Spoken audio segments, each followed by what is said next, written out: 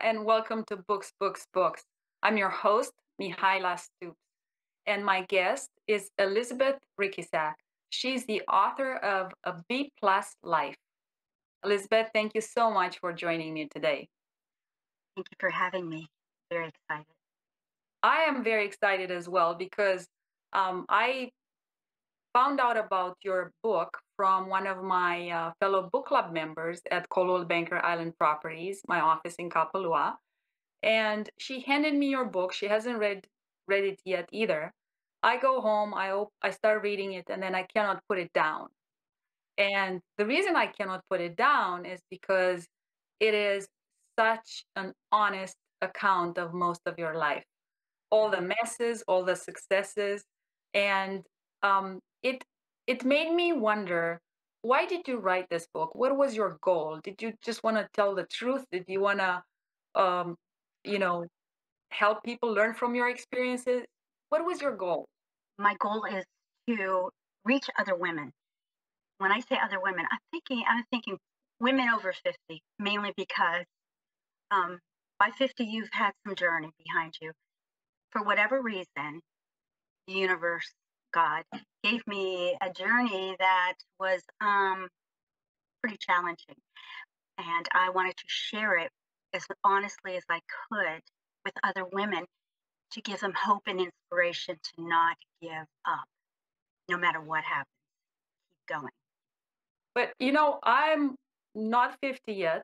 I learned a lot from your book. And I do have to say that, you know, it's it's good for somebody younger to read it as well because it brings so brings up so many issues from your life that we learn from as well. That's right. You know what? You're right. You're right. So that you don't make the mistakes, perhaps that I did. Um, yeah. Yeah. I mean, the marriage mistakes, the career mistakes, whatever they are, whatever was thrown at you, it helps to hear it from someone that's been through it who might be a little wiser to lead you. you know, like choosing a partner, that's important. And we choose partners, you know, some women as early as when they're 16, right? Well, I'll tell you what, um, I, I, a lot of women, especially me, um, chose partners for the wrong reasons. And lots of times we ignore those red flags that are right there. They're right there and we ignore them. So I know I married out of fear. Fear is the worst reason to be married, or insecurity. And also, I, I married out of because I was lonely, loneliness. Women um, have been told that they need a man to be fulfilled, and that's not always true. Not always true. No, um, unless you find that perfect partner, which is hard to find. It's okay to be alone. It's okay to do this journey alone. And I wanted to give this strength to other women, knowing what I've been through um, divorce, abandonment, sickness, accidents, raising children alone. There's right. so many things. Speaking of children, so you know, while this book is has very good advice for women trying to find a partner, I think it also has some very interesting stories about motherhood. Okay. And you mm-hmm. talk about your relationship with your mother, and then you talk about you as a mother and you being an adoptive mother as well. And that part of the story becomes very complicated. Oh, and, and you're keeping it very, very honest. My mother was um, beautiful soul. However, she was very emotionally weak. And so I, uh, uh, the roles were re- reversed in that I helped my mom a lot. She died very young.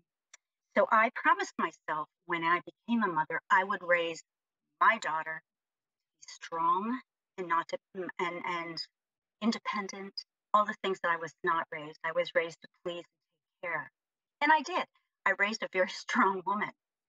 Um, then I adopted a child, and if you read the book, you will be astonished how that all came to be. I lived in the deep south, and I adopted a black child um, on the side of a road. as a teacher, as a single woman. There's so many facets to my story. I broke I, I, I broke lots of barriers, racial barriers, societal barriers, um, political barriers, and religious barriers living in the South. And I try to touch on all of those in the book. It didn't go, if you've watched the movie Blindside, you'll think, oh, this is Blindside. Pretty blonde woman adopts black boy, great football player, blah, blah, blah. Well, guess what? It was like Blindside, but with a not a good ending um, yeah, and I, I don't know how much of that you want to reveal to uh, our viewers, but I do want to say um, the story gets very complicated, and there are some very difficult moments there for you as a mother and an adoptive mother. Yes, very complicated, and um, astonishing. Uh, the things that uh, to, not to give the book away, but the, uh, this adopted child was very needy and wonderful at first, and then as he became very successful in high school as a football player, it all went it all went uh, astray, and he ended up breaking the law um, and going to prison. Um, this affected my other relationship. I thought by adopting when I just thought in my little naive mind that when God drops something in your lap, in your path, should just don't ignore it. Don't ignore it. Obviously, I meant I was I was meant to help this little boy. But not only that, I thought it would be such a great lesson to teach my other two children that when somebody needs help, you help them. Unfortunately, it didn't all work out that way. Um, I think there's there was a lot of resentment, and when he broke the law, it was a huge scandal because, of course, I was Teacher of the Year, which makes it all the worse. And um, my two children were very embarrassed. My two biological children were very, very embarrassed by it. And uh, you can imagine their life throughout this whole thing. So, why do I bring this up? Because it was about as bad as it could be in many areas, and I never gave up. I kept the faith. I kept trying. I never compromised anything for these, these children. I, they were everything to me. And I must say that they have all turned out very well. They're all in their late 30s, highly successful at the, at, at the professions they've chosen to do. Self focused and happy. But it was so, hard. Do you think that all your children read the book? Do you think that all your family read the book? Have they called you or mm-hmm. wrote mm-hmm. you or have they um, anything about it? Because again, you're very honest, not only in relating the facts, but also your feelings about all these people in your mm-hmm. life. Purposely, I purposely, well, first of all, there are no names in the book. So I, I tried, I didn't even tell my kids about the book until it was published. And then I told them that I wrote something that I felt very strongly about to help other women. I, I try to make them understand that nobody will know who they are. We have different names, last names. Uh, they, they live far away. Um, not to worry. Well, my two biological children did read the book, and I have to tell you, they weren't happy. Um, I believe I cannot speak for them. However, I do believe that uh, they felt that I exposed um, their life, their early life, without permission. Um, I believe that maybe I hit some deep core emotions that they had repressed for many, many years, and all of a sudden it's all come back, it's all come out. And so they weren't they weren't happy with the book. They weren't happy. I was hoping that they would be proud of me as their mom to be published and making a decision to write a book to help others, the greater good, the greater good. Unfortunately, it didn't work out that way. I'm hoping with time, maturity, they'll understand why I did what I did by writing this.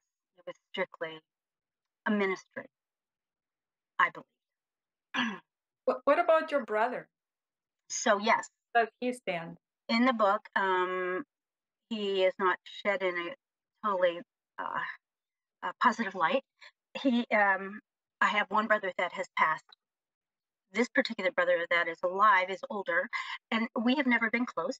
Um, I brought them into the book just to show my childhood and, and the struggles I had as a young woman in a family that I certainly didn't feel like I belonged to. So he and I have never been close, and I worried about when the book came out, which came out October 31st. On Christmas Day, I called him to wish him uh, a very Merry Christmas. I hadn't talked to him at all. He was very pleasant, told me all about his hunting expeditions travels, never mentioned the book. Uh, so I am under the impression that he didn't read it, doesn't even know it exists. And if he did, I don't think he'd be at all interested. He's never been a great fan of mine. Um, so, but we're on terms that we can talk. Not only my brother, there are people in the book that I portrayed, and they know who they are when they read the book. Um, and it wasn't out of, and I tried to be very gentle. Again, I didn't write anything that I wasn't trying to make a strong point about to other women. But there were, I've, I've carried so many people along the six decades because I felt, and I think a lot of women might, that the more people I have in my life, the more secure I am. So I kept these friendships going, whether they behooved my life or whether they cared about me, I kept it going. And my book gave me a way to personally purge, if you will, some of those relationships that I needed to let go and let let go in love, which I should have done a long time ago because things have been hurtful, but I've forgiven and forgiven and forgiven. So the book helped me um, send some some people off in love that uh, no longer needed to be in my life, nor did I need to be in their life. So, was writing this book therapeutic for you? It was very. Was was it very? It, it was. It's healing. Um, but I'm also uh, an, I love to write, and for whatever reason, the universe gave me this journey, and I thought, you know what? Let me see if I can make a story out of this to help someone. I mean, who am I? I'm not famous. No one knows me. But I think most women are like me and they can relate to a lot of the things I went through. We're not famous, we're not rich, but we have lived a journey. We all live a journey along. And I just felt like I had so much to offer as uh, from my experience. Yes, it helped me um, it was easy for me to write. It just flowed, which made me almost feel like the universe really was behind me. It really flowed. So, um, my as a reader, I, I felt that.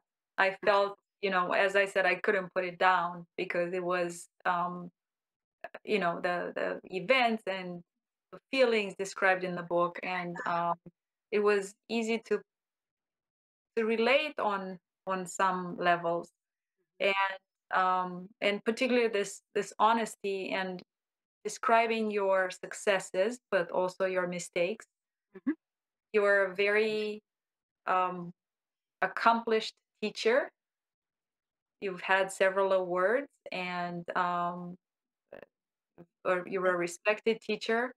So i count that as a success. I mm-hmm. I, I think that you you're also under your successes. I think motherhood is a success. Ah, you you, yeah. you you overcome many many issues more than you know most mothers have to deal with in their lives and um, i like how every chapter is a note at the end a note to self.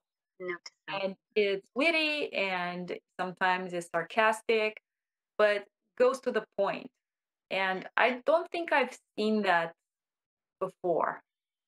You know what? I that came to me because as a teacher, I, I remember reading many, many classics with kids. And basically, I'd say it at the end of each chapter why did the author write that chapter? What were we supposed to take away in one sentence? And so I really looked at my chapters and I thought, why did I write that? What was I trying to get across? I thought, ah, Note to self. What did I learn? Maybe that someone else. I tried to be funny, um, sometimes very serious, and sometimes very sad. You know, the, the chapter when I lost my mom was really a tough one. Um, as hard as she was, losing your mom is huge, especially the way it happened. Um, the adoption process, um, that whole time was painfully difficult. So I, uh, at the end of each chapter, I would, I would say, okay, what did I learn from this? What's somebody supposed to take away from from this experience? So I had fun with that. It was fun. I even. Uh, and does the teacher then is the, the title related to your habit yes, of grading yes. papers? Yes, that's why I picked B plus. Let me tell you what, I love a B plus. A B plus, you know what that means to me? It means a kid that is trying so hard. Perhaps they're not gifted, but they're trying really hard to do the best they can. And that's as close as they can get. But in the meantime, since they aren't gifted and things aren't given straight to them easily, they work harder. They develop personality, they've developed charm, they develop different skills because they know to be successful, they have to work that much harder. Whereas an A plus child or an A plus, as I describe it in my book, an A plus woman, they don't have to work as hard. People fall over for them. Things are easy for them. Everything's so. I think if I was a businesswoman and I opened a business, I would only hire B plus workers because I know what a B plus means. It's a hardworking person trying to be an A. that's that's very very interesting. You know, mm-hmm. I have a teenager, and she is A plus student, and I I agree with you that you know we the the kids that are A and A plus they have A and A plus grades. You know, obviously they're academically inclined and it's easy for them. And, mm-hmm and thank you for correcting me correcting my perception that well a b plus is somebody that doesn't have it quite uh, you know it's it's actually somebody that's probably been had more challenges and tried really hard exactly they have to try twice as hard so a b plus is it might be as close as they can get to an a but boy they worked hard to get there i mean i love I, the last part of my career i taught gifted and talented children they had to be state tested 96% and above on state standards. Brilliant. They didn't have to work that hard for anything. They really did. And A was it was nothing to them. It's those children that say, oh, I need to make this happen. And they try and they try, then they, they, they're involved in many things. And then they have this, they have to bring out their personality and their charm. I even mentioned that about my brother, my younger brother, when we were in Catholic school as kids. The nuns were so hard on him. He finally got us thrown out of Catholic school. And it turns out later, far later, I get a master's in, in reading and education and realize how deeply dyslexic my poor brother was. He wasn't bad. He couldn't read. He was dyslexic. What did he develop? An incredible personality. The guy was, when he died, he was one of the wealthiest, successful men I knew because of his personality and perseverance that made up for other things. So I have very strong feelings about meeting a kid where they are and taking them further. And speaking about making things happen, mm-hmm.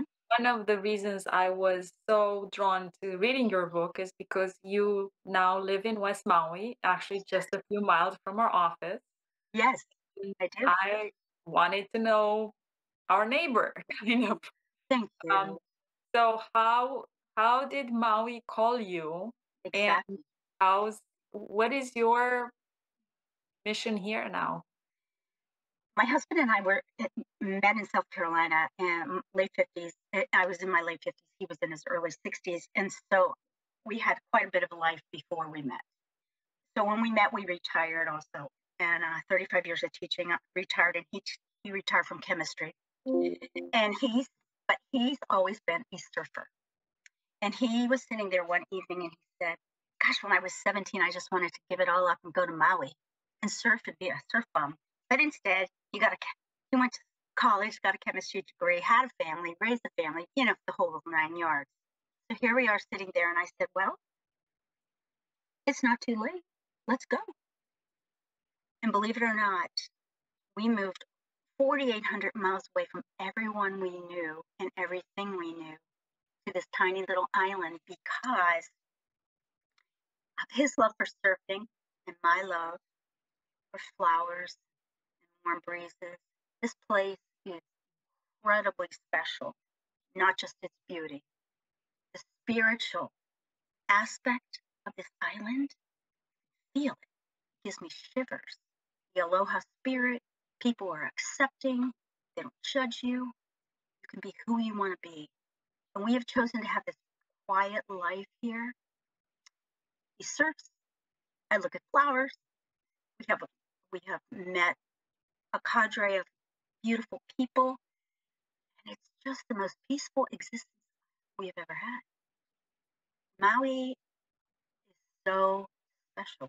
I know you know that. You're here too. It's so special. And I've never I've never been happier in my life, nor has Ken. In fact, his joke always is, honey, I'm not leaving the island unless I'm in a box. I can understand that. yeah. and it. I know that besides, you know, um, enjoying Maui, you're also um, quite a community member. You're volunteering a lot, both of you. And I'd love to hear more about that. Thank you. Um, I work at the hospital. We have one hospital here. And I thought I need to get involved in that hospital. So I'm one of the people that runs the gift shop. Big job. and I sell my books in the in, in the gift shop five at a time. And the money goes to the hospital.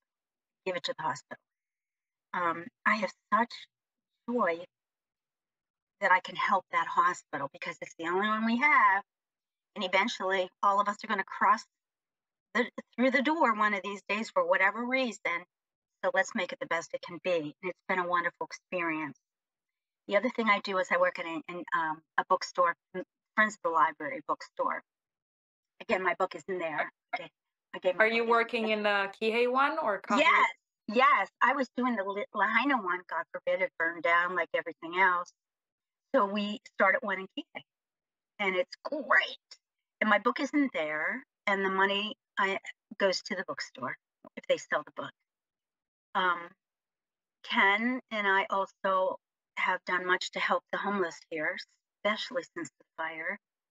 We were able to collect fourteen fifteen thousand dollars from friends back home uh, when the fire happened, and they wanted to help, but they didn't know where to send money, so they sent it to us, and we put it in the hands of people that we know here, locals that we know. Ken paddles on the um the longboards, uh, uh, the big canoes in the Lahaina Club, and they the Lahaina Club members, most of them lost everything. So we were able to put money in all of their hands. Um, thank you for thank you for doing this. Um, of course, I, I, I, know there's a lot of help still needed, and it's both financial and emotional support that's still needed. Exactly. I'm probably one of the nicest things I was able to do lately is uh, the little school up in Kapalua, right by your shop. Um, it's the Sacred Heart School, and they all they've been intense. The, the, the classrooms are intense. These children, and they asked me to. They needed someone for a week, so I volunteered and taught second grade for the week. It was probably one of the most spiritual moments of, of my journey here. Um, those children, 85 children in that little school lost everything Yet I've never met such joyous, gracious children from all over the world Tongans, Samoans, they're all Hawaiians, but they're all different race and they are just so beautiful. And I was able to give my time and my talent uh, freely to help the school. That was really a nice experience. Nothing like teaching in a tent with a rooster at the door. right. Oh my gosh. it's um, the wind's blowing through the tent, and roosters. it was really an experience. It was nice. Well, thank you for for doing that. I I know how hard it is, and um, I know it's very appreciated. And I I just have one last question for you. Mm-hmm. Mm-hmm. What is next for this book? I would love. I would love. Let me tell you what I. I would love to put this in Oprah's hands, and I say that. I say that teasingly, but what I'm saying is, I would love a successful, empathetic woman that has connections to read it, so that she can give it to every woman that could could use a little help on their personal journey. Um, I don't know how to do that personally, but I would love if if someone had the means or the fame or whatever it would take. And she likes Maui. She loves Maui. so it, I just joke about that, but I would love every woman to have a copy of this so that when they're feeling down, they can laugh, cry, and go and say, "Oh my God, that's, you're talking about me."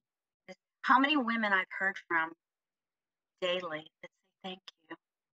I don't know them. They message me and they say thank you. I cried when I read your book. Thank you for understanding. It's really, it's really that I would love to get it out there. Is what I would like. Somehow. Well, I don't know if Oprah is going to watch this talk show, but I've never dreamt this high for this talk show, but who knows? Maybe she will. So maybe she, she lives in Maui sometimes. But anyway, it doesn't have to be Oprah. I'm just teasing, but just somebody to get it out there in the hands of women that could use it right now. Yeah, I think I, um, I think the story will carry on, and people will want to know more and um, read the book and probably reach out to you. You're so that's the other part I like is that was easy to find you and um, you were so um, gracious to to join me on the show. Oh, thank you. So, oh, I wanted to, I wanted to say one little thing. The cover of the book. Um, I met a young man on this island. He's in his somewhere in his thirties on the beach, and he is on the spectrum. And a lovely young man rides his bike to the grocery store, whatever he does. It turns out that I was watching him draw on the beach. He's a gifted artist, gifted, self taught. So I actually went to him. His name is Tim McHugh, and I said, Tim, listen, I'm writing this book. It's a shot in the dark. And I told him what I had in mind to put on the cover. I told him in language. That young man drew that cover with just the little bit of instruction that I gave him. So I am so proud to promote the the community of uh, that are the spectrum on the spectrum, the autistic children. They're so talented, and it was my, my one more way of giving a plug to to a student.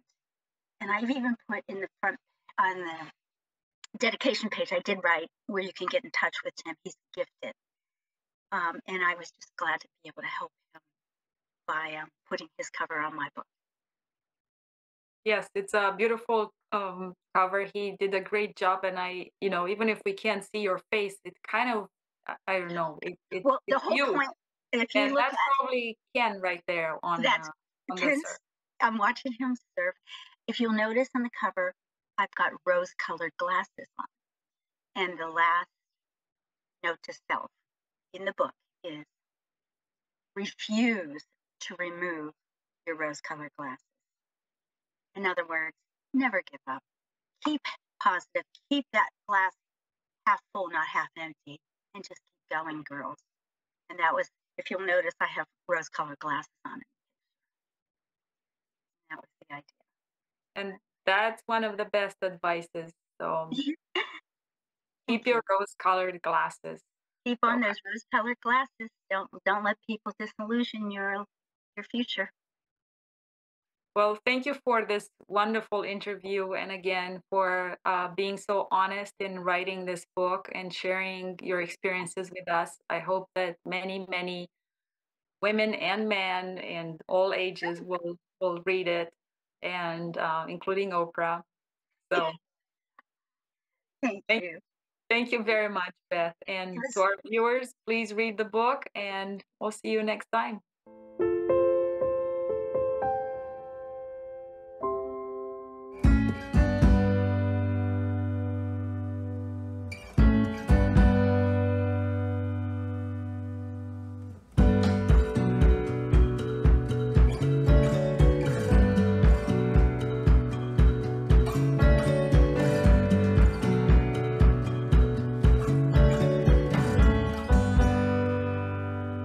Liked this show, why don't you give us a like or subscribe to our channel? Thanks so much.